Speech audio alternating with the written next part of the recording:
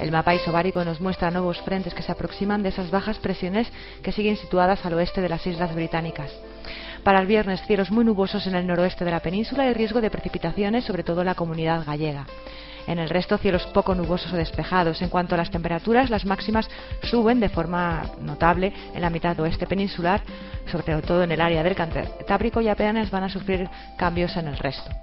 Comenzamos el fin de semana de forma similar, con cielos más nubosos en el noroeste y con posibilidad de precipitaciones en Galicia desde primeras horas del día. A lo largo de la tarde se espera que estas precipitaciones se debiliten. En el resto cielos mucho más despejados y temperaturas diurnas en progresivo ascenso, salvo en Galicia, en el área del Cantábrico y también en el Mediterráneo, donde no van a sufrir muchos cambios. Y para el domingo seguimos con inestabilidad y precipitaciones ya cada vez más débiles en Galicia. En el resto de la península y en Baleares, cielos mucho más despejados. En Canarias, tiempo inestable con riesgo de chubascos que pueden ser tormentosos. Y temperaturas máximas que suben, sobre todo en el interior de la península. Y en cuanto a Europa, para el sábado se espera inestabilidad y precipitaciones en el norte.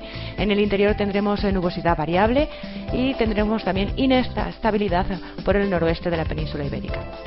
Y para el domingo pocos cambios, persisten esas precipitaciones en el norte de Europa y tendremos mejor tiempo en el interior y en las regiones del Mediterráneo.